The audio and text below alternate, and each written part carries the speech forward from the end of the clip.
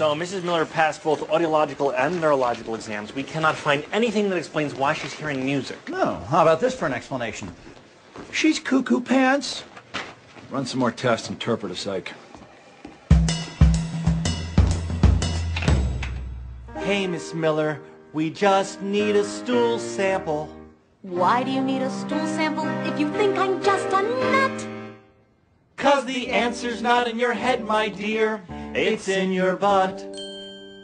You see, everything comes down to poo. From the top of your head to the sole of your shoe.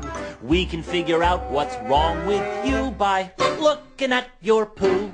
Turk, do you have a hemorrhoid or is it rectal cancer? When you flush your dookie down, you flush away the answer. It doesn't really matter if it's hard or if it's loose. We'll figure out what's ailing you as long as it's a deuce. Yes! Everything comes down to poo. Everything comes down to Cardiovascular and lymphatic, yes, the nervous system too. All across the nation, we trust in defecation. Everything comes down to poo. If you want to know what's wrong, don't sit and act so cool.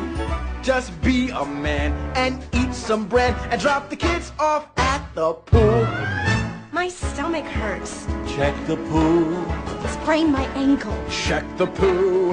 I was shot. Check the poo. A homeless guy threw poo in my eye. Check the poo. Mine are his. First him, then you. It may sound gross.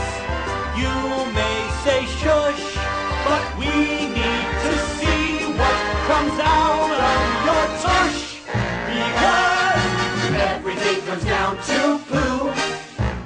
Whether it's a tumor or a touch of the flu. Please won't you pinch us off a big fat clue? Our number one test is your number two. If there's no grease light unmatched,